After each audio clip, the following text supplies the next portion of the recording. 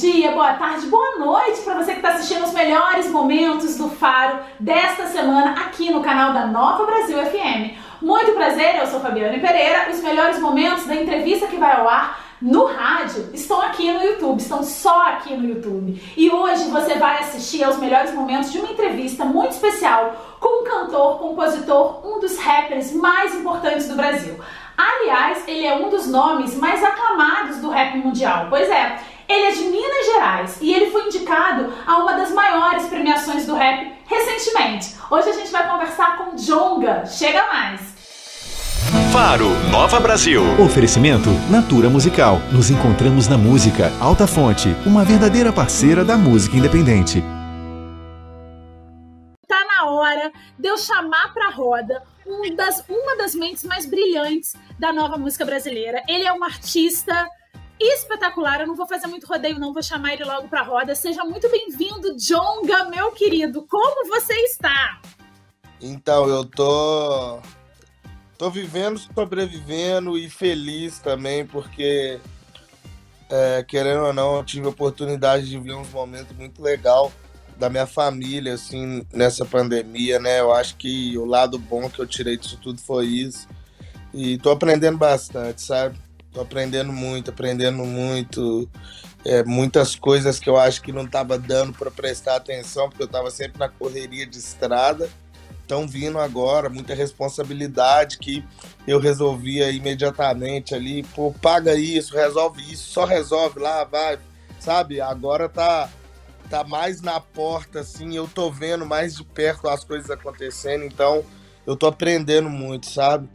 Que loucura, né? John, eu já te falei isso pessoalmente, mas eu vou repetir aqui para mais de 400 cidades que estão nos ouvindo que você é uma das mentes mais brilhantes dessa geração e é uma alegria ser sua contemporânea e quase conterrânea, porque a família do meu pai é toda aí, ó, pertinho de você, de Nova Lima. Você lançou Não. mais uma vez no dia 13 de março um disco, que é o seu quinto disco de estúdio, e eu queria que você falasse um pouquinho sobre Nu. É, esse disco ele foi todo concebido durante a pandemia? Sim, esse disco ele foi concebido durante a pandemia e mais no final assim de 2020 para o começo de 2021, né? Eu acumulei muitas experiências positivas, como eu te falei, né? De, de perceber o que, que era importante para mim de perto, experiências negativas também, sabe? Eu acho que, é, inclusive, tomei umas atitudes erradas e tal na minha vida. Ano passado, tive problemas com, com pessoas próximas, sabe? Aconteceram algumas coisas graves que eu falo em toda entrevista que eu nem quero falar muito, sabe? Aí esse, esse disco ele veio do nada, sabe? Foi tipo mais pro final do ano eu comecei a refletir tudo que tinha acontecido comigo. Falei, vai, preciso falar disso. Porque já não vou ter show, já não vou ter nada, eu preciso falar disso pelo menos para tirar isso daqui de dentro, sabe? E é um disco que, diferente de todos, ele não é muito pensado para show, ele não é muito pensado para isso. É, é, um desabafo, é, enfim. E nos números tem dado muito certo, sabe? No primeiro momento, principalmente foi o disco meu que deu mais certo até agora, no primeiro momento agora tá estabilizando ali e tal, mas eu acho que é um disco que inclusive as pessoas vão entender e abraçar mais ainda a ideia no futuro, sabe? O disco anterior sempre vai ser o melhor. O Jonga de ontem era melhor também. Um por cento a menos humano por dia e dias. Já vivi mais de cem. Eu só queria comida no prato do povo, que é o povo que fabrica o prato. E muitas vezes não tem telefone. Vai ver que é por isso não tem nem ligado. Hey, sendo direto. Conta pra gente um pouco, me dá a mão me dá a mão, qual foi a mensagem que você quis passar quando você começou a, a escrever essa música? É o nome do título, não tem nem muito o que explicar, me dá a mão. Tipo assim, eu acho que eu tô precisando de ajuda, igual eu tava falando agora que tá todo mundo precisando de ajuda. Então, várias vezes mesmo a gente se conforma um pouco com a situação, que é uma coisa triste, a gente começar a se conformar com uma coisa tão, tão triste, sabe? Então, mesmo assim, tem hora que a gente fala: não, cara, não aceito isso, me ajuda aqui, vamos sair daqui junto, vamos quebrar tudo, vamos pra cima. E eu acho que é, me dá uma mensagem de reflexão minha, assim, o disco inteiro fala da mesma coisa, né? Eu acho que é tipo assim, cara, o que, que você tá fazendo para resolver? É, o que, que você tá achando dessa vidinha que você tá levando e acha que é do caralho, enfim. É isso, eu acho que me dá a mão sobre isso. E é um pedido de ajuda ali, disfarçado atrás de um love song, de uma música de amor, uma parada leve. Então, tô ali dialogando com a minha companheira, que é a Malu e tal. Então, tô ali dialogando com ela naquela música. É tipo assim, vamos lá, né? Acelerei demais e me perdi na curva. Pus coração na mesa, era pra ter razão. Nem nos tempos de paz eu quis fugir da luta. Procurei luz, procurei luz na Ô, Jonga, é, por mais humilde que você seja, e você é de fato, receber os elogios que você vem recebendo nos últimos anos e os prêmios que você vem recebendo, e o Pedro Bial, William Bonner, os maiores, né, os mais importantes, os mais notórios jornalistas do Brasil, te reverenciando. Com uma obra voltada para o antirracismo, o rapper mineiro Jonga é o único representante brasileiro num prêmio internacional de hip hop. Como é que você lida com sucesso? O que é sucesso para você? Você ressignificou essa palavra antes de ter sucesso? Ah, sucesso é um dia ser, ser, ser elogiado pelo William Bonner e no outro todo mundo te odiar. É isso. Porque você fez alguma coisa que as pessoas não concordam ou não gostam, sabe? É, é muito louco, porque quando rolou toda a situação comigo do show e tal, muita gente acha que foi a primeira vez que eu fui criticado ali, que aconteceu alguma coisa comigo, mas eu tô acostumadíssimo, tá ligado? desde as pequenas esferas às grandes esferas, desde mano, a gente que é, que é preto, que é, sabe, que vem de outra realidade, a gente desde criança, mano, a gente ouve o tempo inteiro, tá ligado? Então, só que aí, como a gente é bom em algumas coisas melhor que os caras, a gente também ouve elogio. Só que como que a gente vai se apegar só nos elogios se quando no mesmo dia que o cara fala que você é bom de bola, no outro dia tem alguém pôr na mão na bolsa para atravessar a rua quando você está atravessando. Então, nós que vem desse lugar já tá acostumado a lidar com essa dualidade de uma hora tá lá em cima, outra hora tá lá embaixo, sabe? E por isso que nós é fortão mesmo, por isso que nós vamos aprendendo a ser forte e a não ceder toda hora, não ficar pedindo desculpa toda hora, não abaixar a cabeça toda hora, porque a gente é acostumado a viver de cabeça baixa, nós somos criados para viver de cabeça baixa. Na escola pública, os caras não ensinam nós a se emancipar, os caras ensinam nós a ser funcionário de alguém, sabe? Então, assim, é, não vou abaixar a cabeça, velho, tá ligado? Mas vou respeitar todo mundo também que tem opinião, ideia diferente da minha, só que para mudar a minha, a pessoa vai ter que ter argumento, vai ter que debater, vai ter que me mostrar, sabe?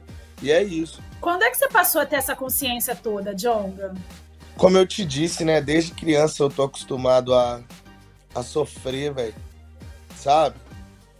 E aí o sofrimento vai criando na gente uma casca, uma armadura mesmo, sabe? Então até quando a gente erra, a gente já sabe o que, que vai vir, velho sabe? Eu não assusto mais, sabe? Infelizmente. Agora eu me indigno com covardia, com mentira, eu me indigno. Mas assustar, infelizmente, velho, eu não assusto mais pela realidade que eu cresci, sabe? Eu vi coisa muito mais grave acontecendo, você entende? Eu dei emprego pra nego que já roubou, pra nego que já matou, tá ligado? Então, tipo assim, eu, dei, eu, eu ajudei pessoas a se reinserir, tá ligado? Então, certas coisas para mim não são tão longe de ser o bastante para a gente começar a pensar em cancelar ou qualquer coisa do tipo, tá ligado? É, eu vejo coisa muito mais sinistra. Eu acho que essa galera que tá nessa onda de cancelar, de não sei lá o quê, é uma galera que talvez não conhece a realidade do Brasil, a realidade da quebrada, a realidade do dia a dia, sacou? Você convive na esquina com a dona que trabalha o dia inteiro e na mesma esquina você convive com o cara que mata, tá ligado? E depois você convive com o polícia que chega esculachando, e você convive com aquilo tudo. Essa é a realidade do Brasil, tá ligado? Se for para cancelar, nós vamos cancelar o país inteiro, porque o trem tá feio, mano. E o trem tá feio por uma realidade que eles colocaram a gente, tá ligado? Não foi a, a gente não inventou nada, sabe? Sacou? Tipo assim, quando acabou a escravidão, os caras foram lá e colocaram nós para fazer qualquer coisa. Vai lá, vai lá, neguinho, vai lá, dá um jeito aí sacou? Então, assim, não, não, eu, não dá pra, pra se assustar e nem pra se apegar demais aos elogios. A luta é muito maior. Uma poção de dedo pra nós, ó, medo pra nós, ó, arma pra nós, ó, se tá com nota apontada pra nós, ó, cá entre nós, ó, como é que desata esses nós? Mais um virou presunto pelo quebra nós, ó, gato eu pensei demais em nós, ó, praia pra nós, ó, casa pra nós, ó, mas nós vai virar assunto lá pros nossos, ó, neguinho mudou de vida e esqueceu de nós, vamos morrer junto na merda e gritando é nós. Ô, Jonga, tem um grito de guerra que na verdade não era grito de guerra, se tornou que faz parte da música Olho de Tigre, que é fogo nos racistas. Essa expressão fogo nos racistas, ela chega a ser citada várias vezes, todos os dias nas redes sociais e nos seus shows, em vários momentos, a galera para para gritar fogo nos racistas. Sensação, sensacional! E clima, e!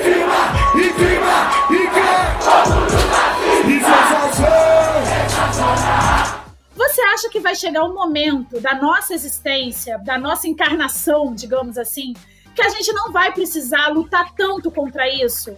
Que o racismo estrutural vai diminuir ou vai acabar? Você acha que vai chegar a esse ponto? Você tem essa esperança? Eu acho que a forma melhor de mudar isso é quando a gente começar a criar nosso povo para ser líder e não para ser subalterno. É o que eu estava falando ali antes. A gente é criado para ser subalterno então, quando o cara aponta o dedo na nossa cara e a gente cala a boca, abaixa a cabeça, porque a gente tem medo de ser demitido, a gente tem medo de ser preso, a gente tem medo de tudo. O tempo todo a gente tem medo de tomar um tiro da polícia, a gente tem medo de tudo. Então, quando a gente for criado para ser líder, a gente não vai ter medo, sabe? A gente vai saber quem que a gente é, o que, que a gente merece, o que, a gente pode, o que a gente não pode. E, enfim, nós vamos estar tá ocupando os grandes cargos também sabe? É uma coisa que aos poucos está acontecendo, mas quando tiver realmente acontecendo muito mesmo, aí talvez comece a passar. Mas é uma construção muito longa, porque a história do racismo no nosso país é longa, né? A gente ficou muito tempo sendo escravo, né? E é. então não é tão simples assim acabar com isso, sabe? Não é uma questão mais de opinião, de do cara simplesmente, ah, mas eu gosto de preto, mas eu não gosto. É uma coisa muito maior, sabe? É, é uma coisa que tá entranhada, assim, ó. É, tipo, tá no DNA já. Então a gente precisa de de estar tá nos grandes espaços, vai ser uma forma meio que de forçar essa coisa a acabar, né? Então, com o tempo, as pessoas vão realmente entender, né, que, que não faz sentido, que isso é errado. Mas no primeiro momento, a real é que a gente vai ter que ir na força, na marra, fazer isso acabar, porque a gente não aguenta mais.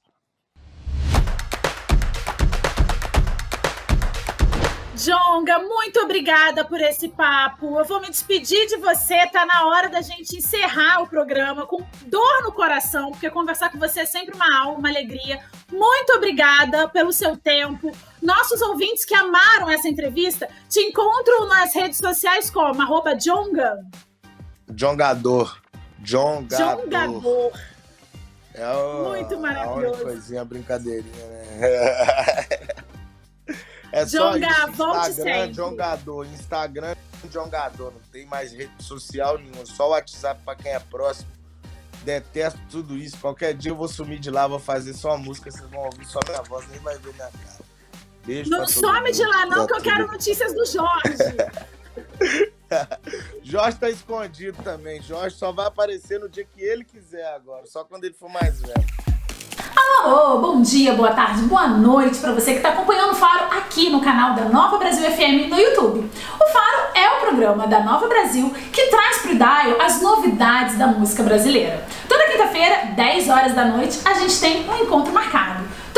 Semana eu recebo um convidado pra lá de especial. E assim que acaba o programa, os melhores momentos vêm aqui pro YouTube. Curtiu essa novidade? Então, ó, compartilha esse vídeo também nas suas redes sociais e ajude o Faro e a música popular brasileira a ocupar todos os espaços.